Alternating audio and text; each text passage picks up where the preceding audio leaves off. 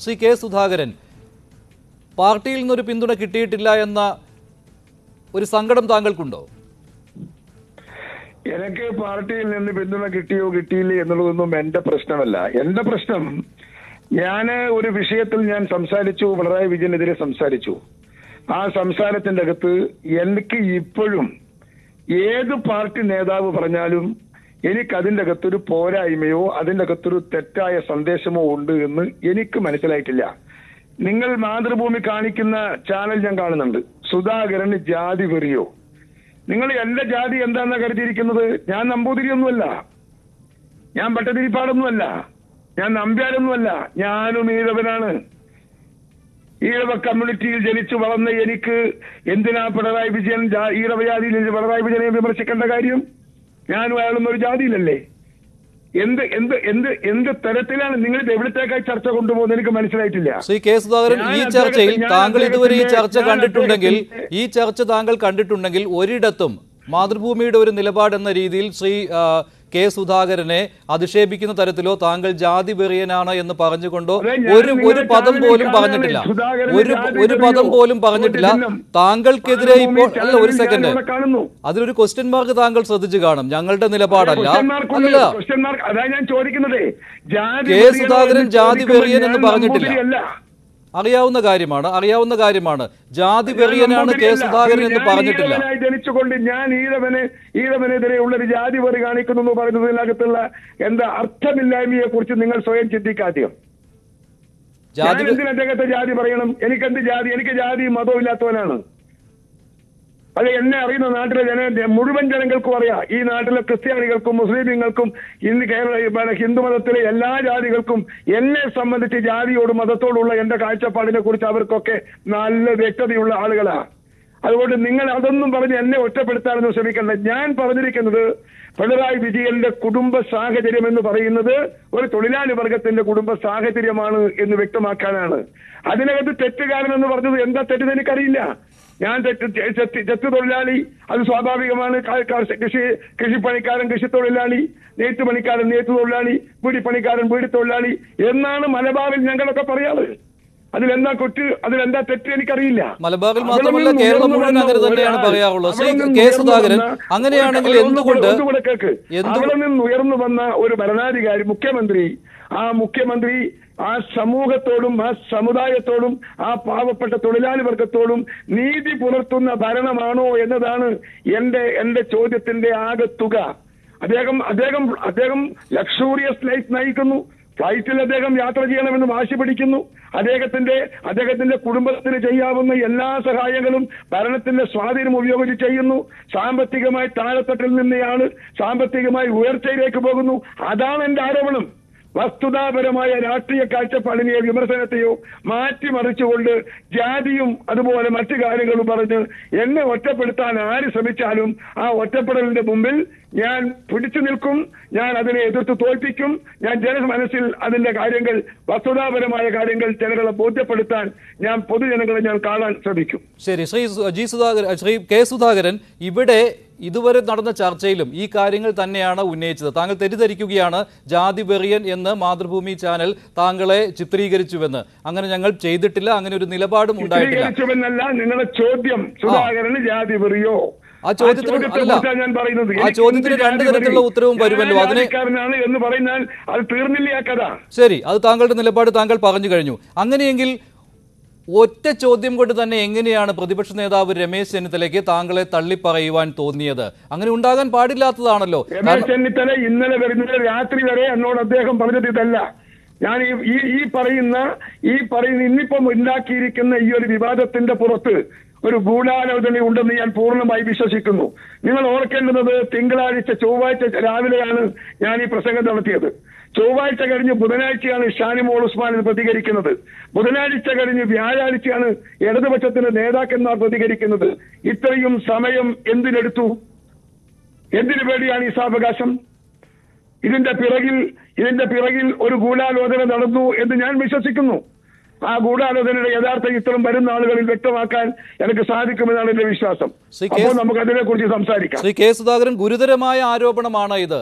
ഞാൻ പ്രതിപക്ഷ നേതാവിന്റെ ആരോപണമാണ്. എന്റെ ഗുരുതരമായ എന്റെ ആരോപണമാണ് ഞാൻ ഉന്നയിക്കുന്നത്. ഇതിന്റെ പിറകിൽ ഒരു ഗൂഢാലോചനയുണ്ട്. ആ ഗൂഢാലോചന എന്താണെന്ന് ഞാൻ രണ്ട് മൂന്ന് ദിവസം കൊണ്ട് നിങ്ങളുടെ മുമ്പിൽ ഞാൻ വെളിപ്പെടുത്തും. പ്രതിപക്ഷ നേതാവിന്റെ കാര്യം ചോദിച്ചപ്പോഴാണ് താങ്കൾ ഗൂഢാലോചനയുടെ കാര്യം പറഞ്ഞത്. അങ്ങനെയെങ്കിൽ പാർട്ടിക്കുള്ളിൽ പങ്കാളിത്തമുള്ളവരാണോ ഇത്? പാർട്ടിക്കകത്ത് പങ്കാളിത്തമുള്ളവരല്ലേ M L A? Shanimol Usman എന്ന് പറയുന്ന എം എൽ എ പാർട്ടിക്കകത്ത് ഉത്തരവാദിത്തമുള്ള ഒരു ഒരു എം എൽ എ അല്ലേ?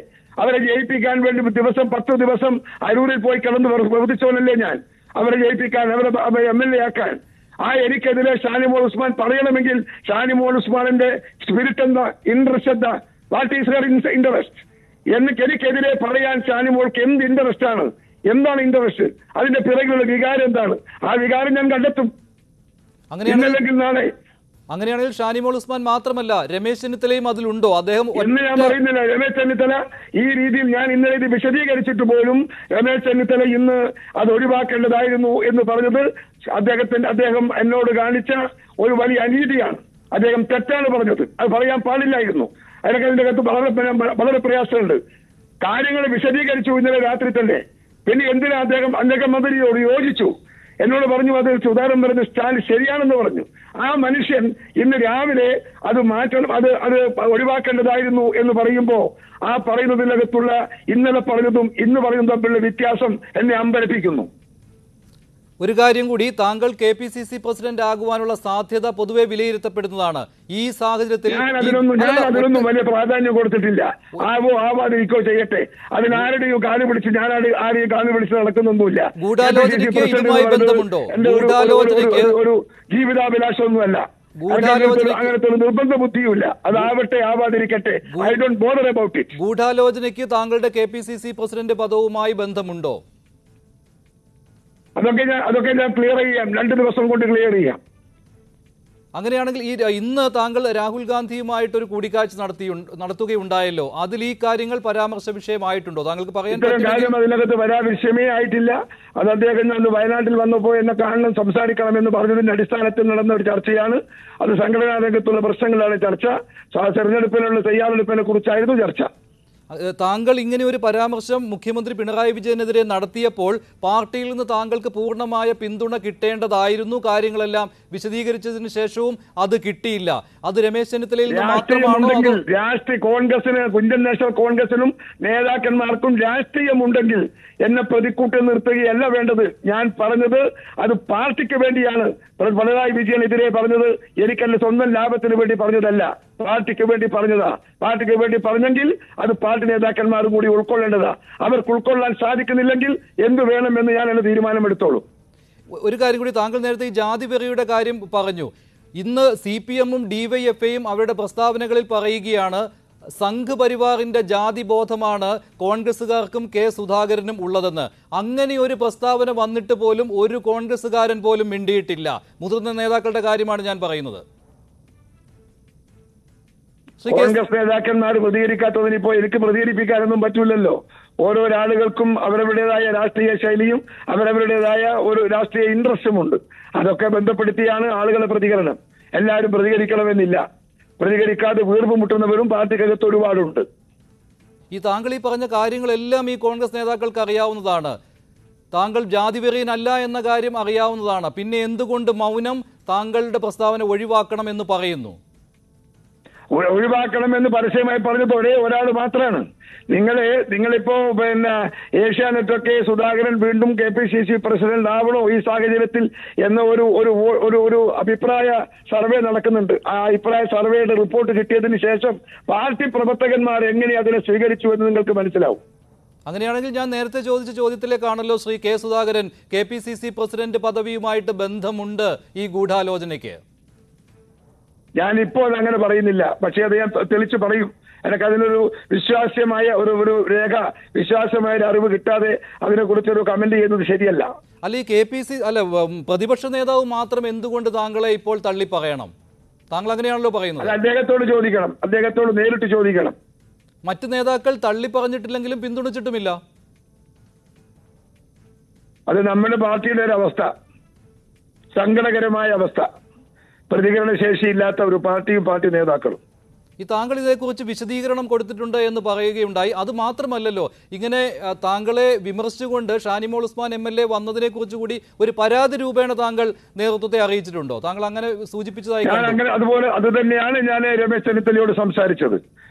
ഒരു പരാതിയായിട്ട് തന്നെയാണ് സംസാരിച്ചത്. അപ്പോൾ അദ്ദേഹം എന്നെ സപ്പോർട്ട് ചെയ്തതാണ്. ഞാൻ പറഞ്ഞത് ശരിയാണ് തെറ്റില്ലെന്ന് പറഞ്ഞ ആളാ.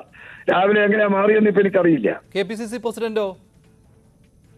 കെ പി സി പ്രസിഡന്റിനോട് ഞാനിത് പറഞ്ഞു. അദ്ദേഹം ഒരു തരത്തിലും എനിക്ക് എന്നോട് ഒരു അസ്വസ്ഥത പ്രകടിപ്പിച്ചിട്ടില്ല. അദ്ദേഹത്തിന് അതിനെക്കുറിച്ച് അന്വേഷിക്കാമെന്ന് എന്തൊക്കെ പറഞ്ഞു. നന്ദി ശ്രീ ഞാൻ എന്റെ നിലപാട് പ്രസിഡന്റിനെ അറിയിച്ചിട്ടുണ്ട്. നന്ദി ശ്രീ കെ സുധാകരൻ ഇത്രയും നേരം പ്രതികരിച്ചത്.